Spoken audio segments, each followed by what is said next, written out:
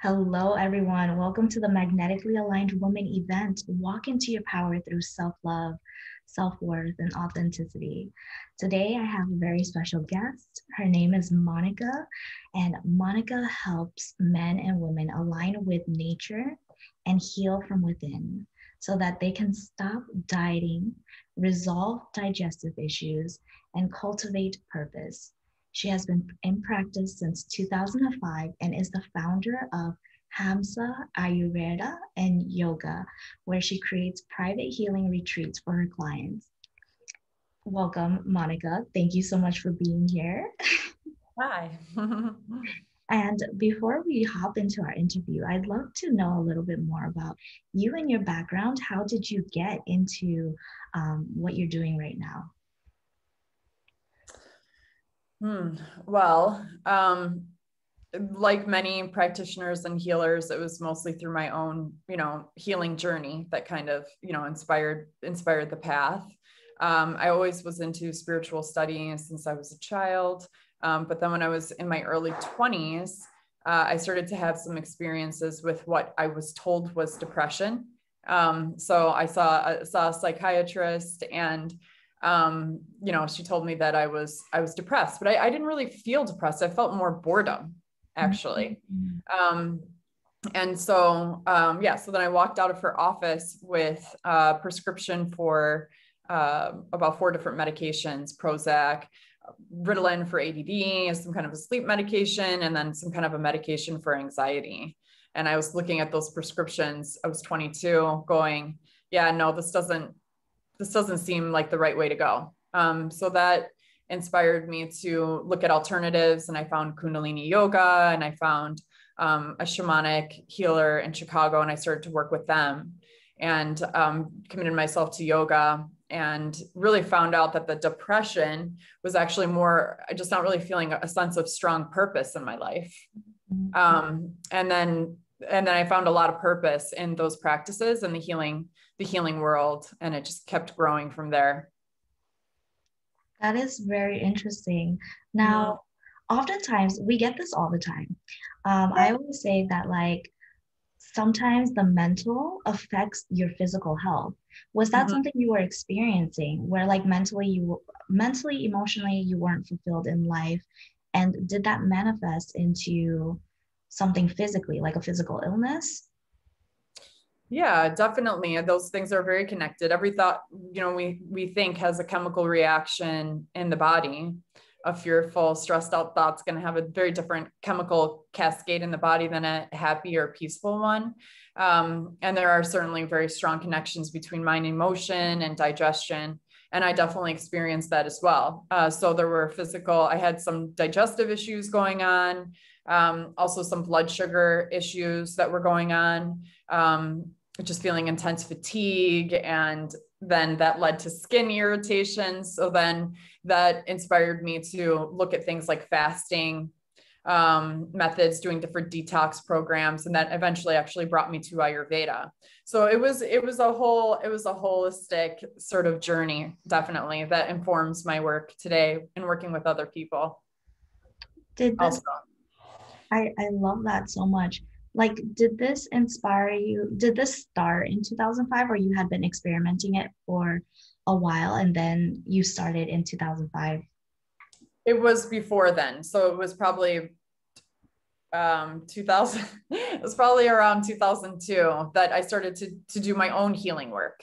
Mm-hmm. um, and then 2005 i had started to to acquire you know certifications and things like that so very interesting mm-hmm. for now, I want to sh- share a little bit about your perspective on what it means to be aligned in general, because you do have yeah. men and women align with nature um, so they can heal themselves. So, like, what does alignment mean for you?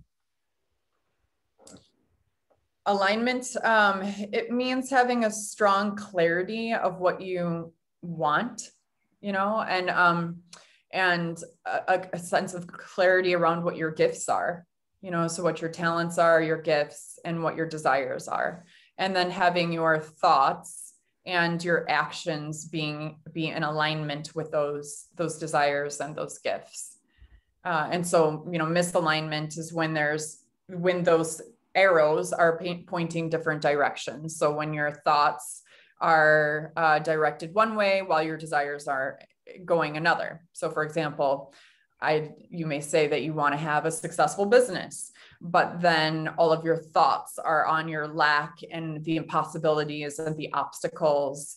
And so then there's an incongruence between your your desires and what you're thinking about on a regular basis. And then when that happens, you'll see the manifestation of that in your life through what you're actually the results that you're producing. Yeah. So um, it takes a little bit of work to bring those things into alignment self inquiry, meditation practices, and things like that. Mm-hmm. I love that you shared that um, because it is it is definitely the cornerstone of why sometimes like we have set goals and then why is it that no matter what we try it's like we don't get the results that we want um, and that was me for a very, very long time. I was like, I'm going to take over the world. I'm going to be a millionaire. I'm going to do all these things. And then every strategy that I tried, like, um, it started cascading down like my relationships, my quality of life. I started getting depressed because I wasn't seeing the results, and I was just like, I don't understand. I'm I'm investing in myself. I'm doing all the I'm doing all the strategies, right? Mm-hmm. Um, and realizing my mindset, um, the emotions that I feel uh, about myself, it was not aligned with my bigger vision because I had a big vision, but I deep down inside, I didn't believe that I can get there. And mm-hmm. it was only when I started working out last year that I kind of like sparked like the wheel of movement forward a little bit for me because mm-hmm. I realized like through I gained confidence and I was like, I believe I can do this and and that self-belief that confidence that little bit every little baby step kind of spurred forward and made the wheel move forward um, mm-hmm. and i think that's very important because a lot of people are stuck in this little cycle of i'm just going to do the strategies and it's going to work because this person um, had these results and they did the strategies um, yeah. so in your work and what you do now um, because you tie all of this together and of course, with dieting and digestive issues, there's like prescription medication and um, certain like workout programs. Can you share as to like how we can get to the root of the problem and not have to rely on those things to get the results that we want? Yeah. Um, I appreciate so much of what you just shared. I, I, think, first of all, that you just gave such a great example of, you know, that we have to feel ca- capable you know so if you if you don't if you're not just you know you can't just follow a strategy. If you don't feel capable of what you're desiring to achieve it's going to express itself somehow. You know if it's in your interactions with people or your energy or your demeanor um, which all those things are important if you're you know trying to build a business or you know cultivate to practice. And so the trick with that is you know becoming aware of you know what are those unconscious beliefs and unconscious thoughts uh, to help you to see you know where you are either attracting those situations in or creating them. Um, and so some specific practices that you can do just by taking some time to look at what is actually currently being reflected back to you in your life now. Um, so for example what are your personal the quality of your personal relationships like? What is your financial reality like? You know are there patterns there? Do you do you attract towards you know certain types of people that may be demeaning to you? Um, do you continuously mishandle your finances? Uh, you know to look at to look at patterns in your external life because those will reflect back to you your inner beliefs if and also in your behaviors too. So our behaviors are expressions of the inner beliefs that we have. Um, so for example if you're mindlessly eating or you're constantly snacking uh, those are signs of unconscious beliefs that you have. And then if you have like a weight problem for example uh, that can be an expression of emotional suppression or kind of trying to numb out uh, to how you feel or you may believe that you're not capable of being healthy You know, you may believe that you're not capable of sticking to a diet. So if you don't believe that you're capable of that, how are you going to actually be able to facilitate uh, that consistent change in behavior over a long period of time? And it even goes to how, you know, physiologically things are expressing themselves in your body. For example, if you have a skin disorder, even if it's like rosacea or acne, but you're constantly on a regular basis focusing on the acne or the rosacea and how terrible it is and how long it's been going on and you're never going to get away out of this then you're you're contributing physiologically you're telling your entire body to to create acne you know to create rosacea uh, and so the mind part of it is hugely imp- important but it isn't just all mind either you know because if you create um, a habit in your physical body and how you're reacting physiologically then there are there are reactions. So for example you could start to have um, leaky gut syndrome dietary allergies where you know you eat dairy and you have a skin flare or you eat dairy and you have a gut reaction uh, and so there are physiological interventions too. It's not just all mind and emotion, at least in my practice. And so that's where different detoxification therapies may come in, or we may do different intestinal healing um, practices like fasting and using herbal antibiotics, using plant based amino acids that heal the gut lining. And, but the mind and the emotions part is really hugely important. It's it's hugely important. Um, if you're constantly, it's difficult, you know, to it's an, an additional hurdle. You know, if you can't focus on your healing and focus on the possibility of what potentially could come into your life. Yeah. Um, I'm taking a moment to just take this information in um, because it's not, the physiological does play an important role. Um, but from what you said, it's like if you don't believe that you can heal, that creates additional stress on your body. Um, and it, it prevents because like from what I've learned, like how stress works, it sends these hormones through your body and it prevents you from actually, uh, for example, like digestion. Like you start gaining weight through that. So when a lot of people are saying like I'm I'm exercising, I'm eating right, I'm doing all these things and it's not working, it's because somewhere in their subconscious like you said is they don't believe they can actually achieve that goal. They don't believe they can actually lose the weight or become healthier. Mm-hmm. When for someone who is going through that, right? Like you have your strategies to help them figure out um, the physiological aspects uh, of their body and the detoxes they can do um, how do you approach the the mental and the emotional? Yeah. So the first the first step is just to become conscious of the fact that who we are is mostly self created you know and that and that and that you can influence who you are by your thoughts so a lot of us become overly engrossed in our thoughts. We think that we are our thoughts.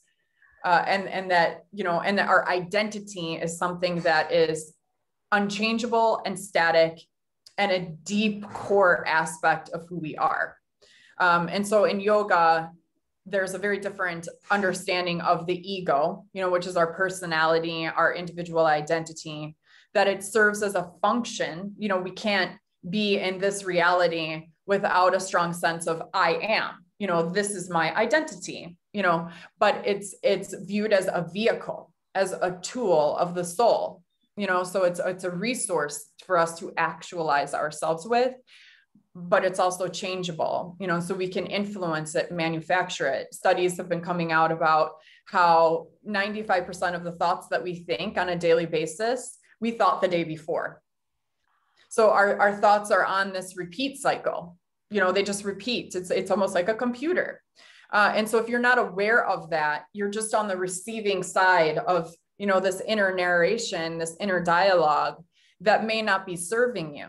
And so everything you know that you have in your external life is the byproducts of the thoughts that you've been thinking the beliefs that you have about yourself and your reality.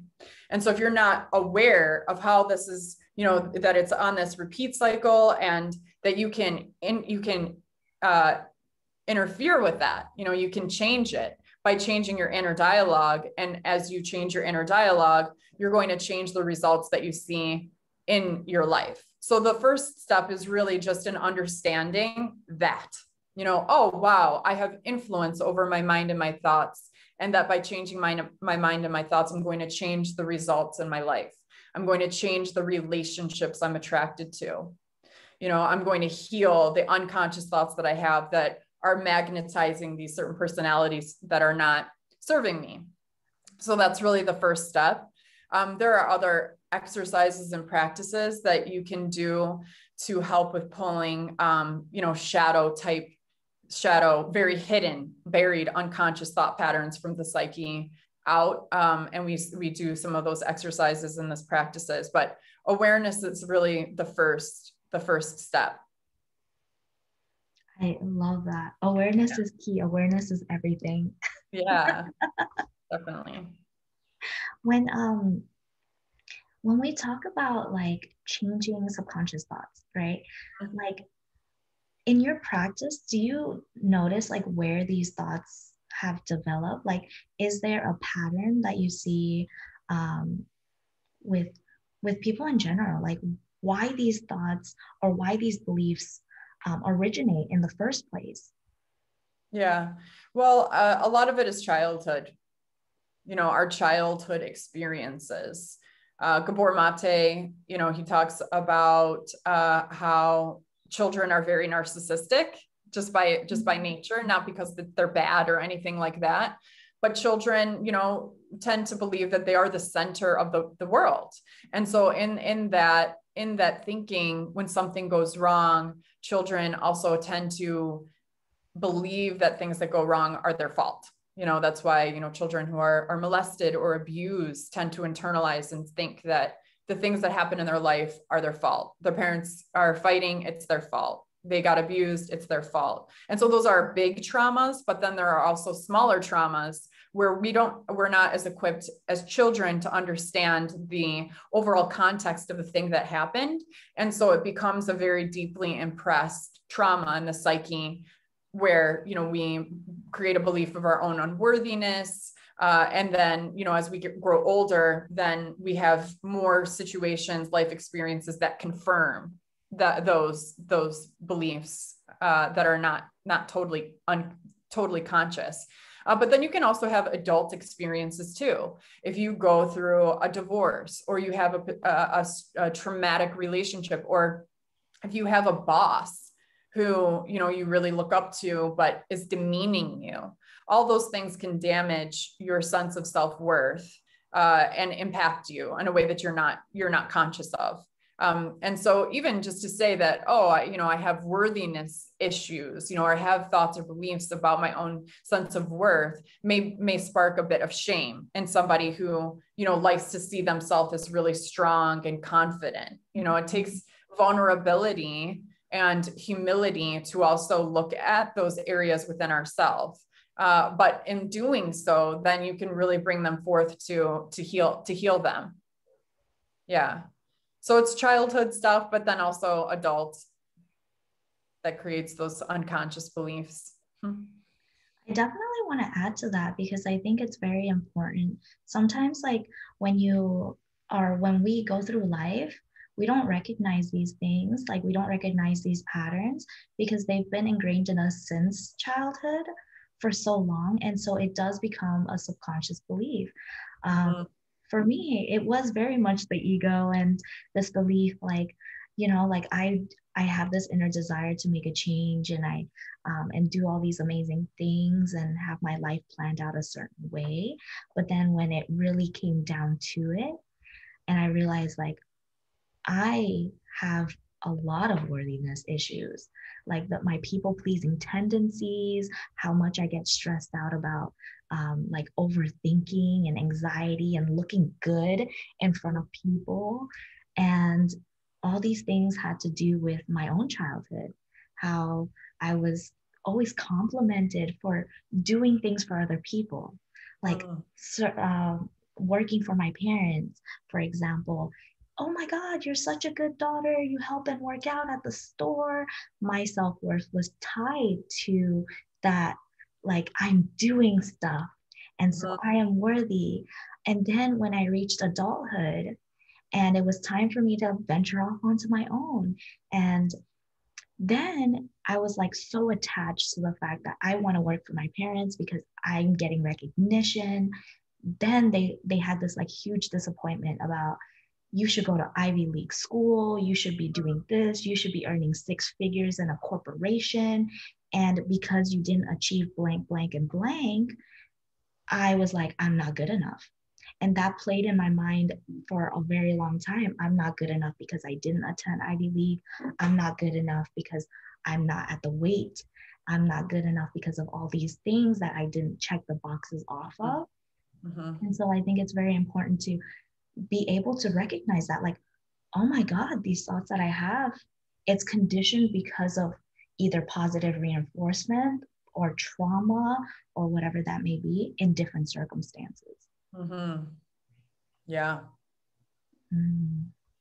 Yeah, I think um, you brought up a really good point about, you know, touching about the feeling, you know, the feeling of not good enough, you know, and and the feeling of um, of uh, getting acknowledged and praised for when you do something. So then you started to believe that, oh, my my sense of worth is based more on my my behavior, you know, versus who I am in a deep core level. And um, those emotional signatures, what I like to call them. So, you know, when you're a child, you were a child, you you were the experience that you had with your parents impressed a, an emotional signature where your worth was based on your performance. And so that you know the unconscious beliefs that we have are often tied to feeling states you know, feeling states. Um, and so as adults or as we continue to grow, then we get attracted to situations that mirror and create that feeling state. And so that that is actually a strong clue as to what the unconscious beliefs and patterns were tying into your earlier question you know what are some of the ways that we can uncover and find some of those unconscious beliefs uh, if you look at um, you know, perhaps you're in a demeaning relationship or a relationship where it's not treating you in a way that you should you should be treated. Uh, to look at how is that making you feel? You know, how do you actually feel in that? Um, okay, you know, I feel unheard. I don't feel listened to. I feel dismissed. Okay, when you know, really, really tap into that feeling, that emotional state and then when did you feel that way five years ago? Can you remember an experience or a memory where you felt that way? Um, yeah, actually, it was in my previous relationship and I felt that way. Okay, how about five years before that? And it's like, oh, oh my gosh, this employer that I had made me feel that way too. And then you can trace that back to where was the original point in life that that emotional signature was written into your core.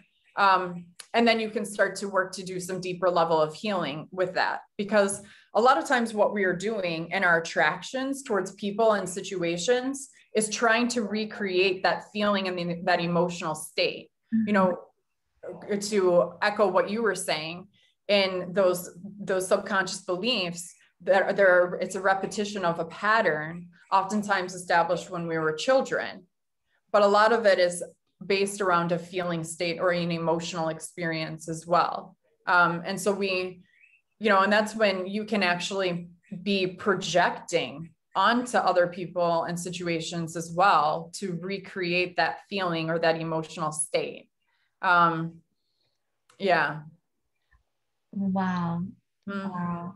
So that means like these these repetitive patterns we actually end like we recreate them because they've just been how we feel comfortable all this time. Yeah.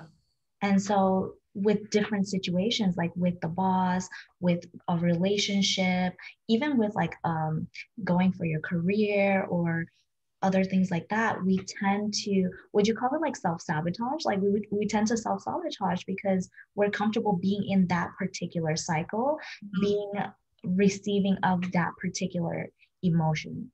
Mm-hmm.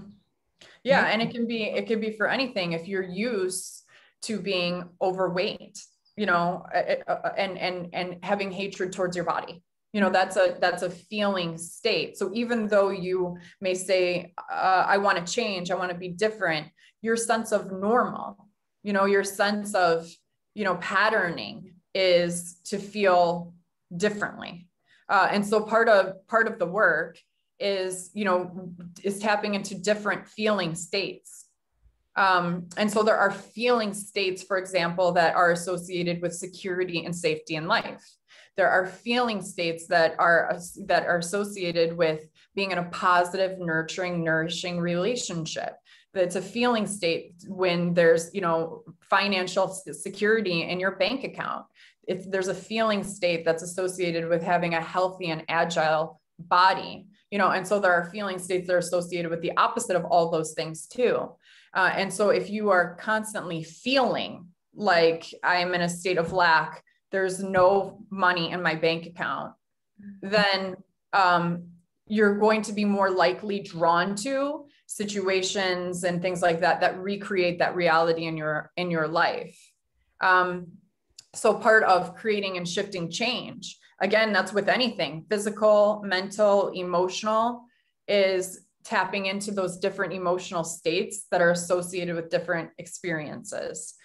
So, for example, even if somebody has a skin disorder, um, you know, I have had a client that I've been working with for a while, and she first came to me and it was like dietary allergies, and I did an intestinal healing cleanse with her, and you know, we've been working with each other for three months, but what has become abundantly clear without a doubt is that it has way less to do with dietary allergies as it has to do with her stress reactions.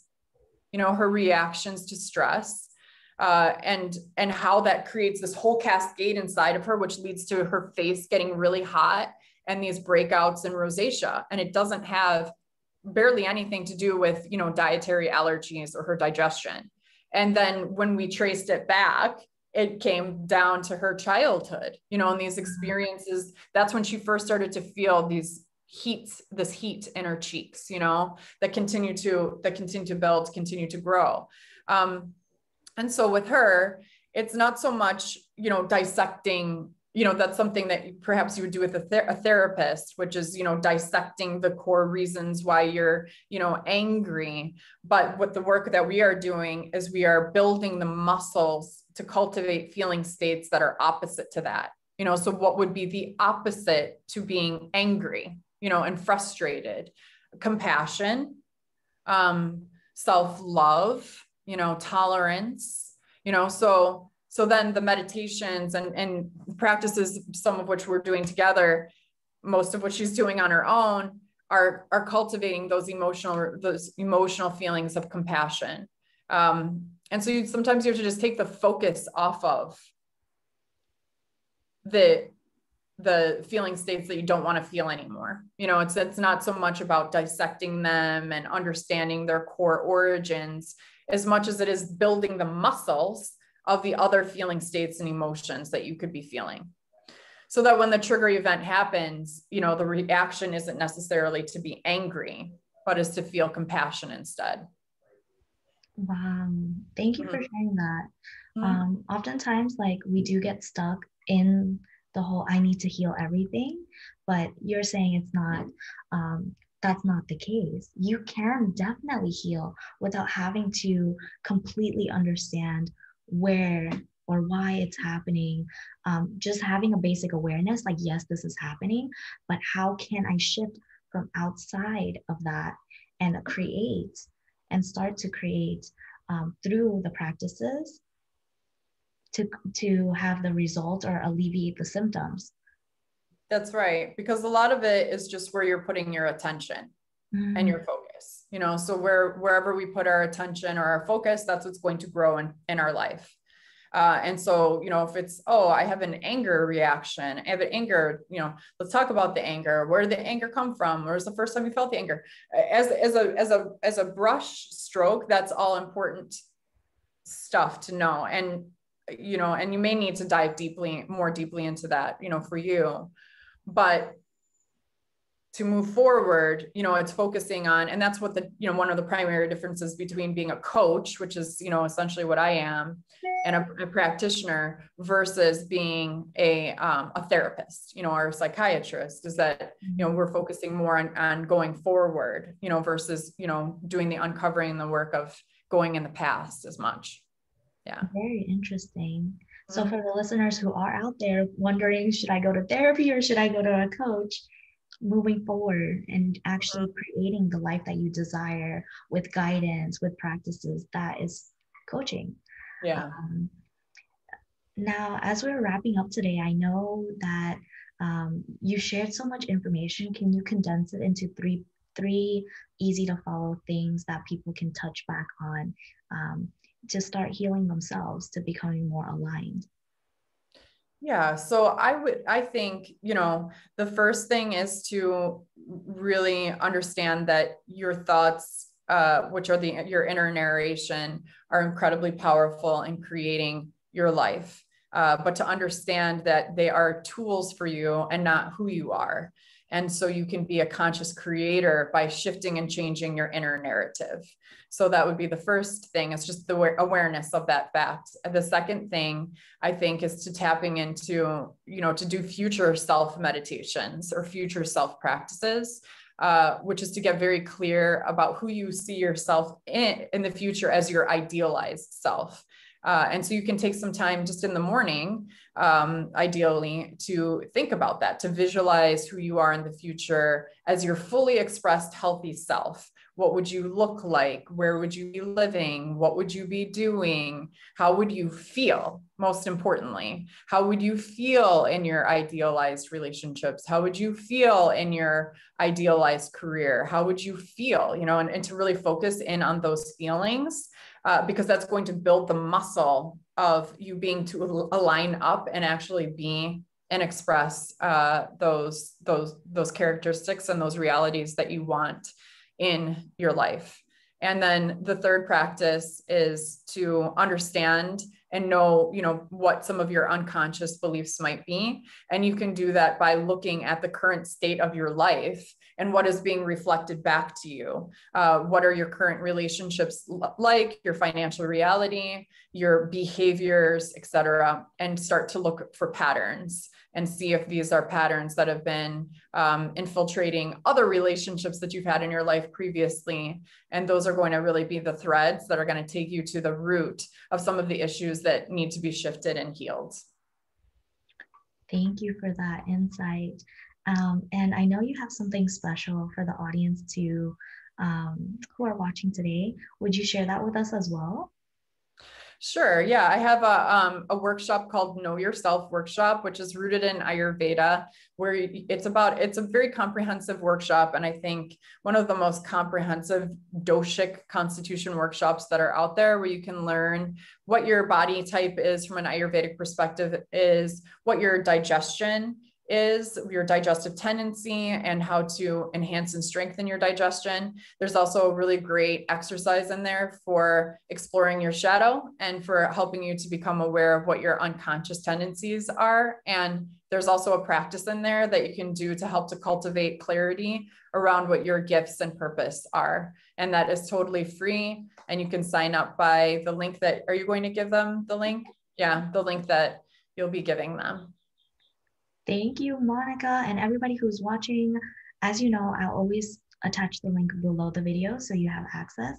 And um, Monica, if you can just share with us before we end um, your website and then like a basic description of what you help individuals do again so that they have a way to connect with you yeah, so um, I have a few different programs right now, um, coaching programs where I help men and women who you know tend to be very ambitious but struggle with self-care um, to really commit and do the self-care practices that will keep them healthy and prevent disease And then I also have an intestinal healing workshop that I do. And I also offer one on one emotional healing sessions too. So you can read all about that on my website, just monicayearwood.com. I also have an Ayurvedic center in Chicago too, where we do detox programs there. But all that information you can just find out about on my site, monicayearwood.com.